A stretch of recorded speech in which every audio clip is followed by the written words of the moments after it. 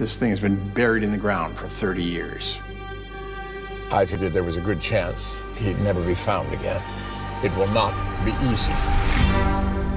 The U.S. government, which he's dedicated his life service to, turned its back on him.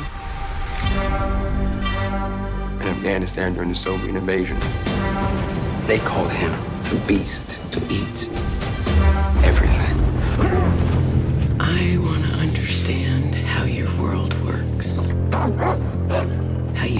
navigate through it, how you operate within it. You're about to drive this to a place you're not gonna like. Your daughter, wherever you put her, she's in this now. I'm going to use her to get to you.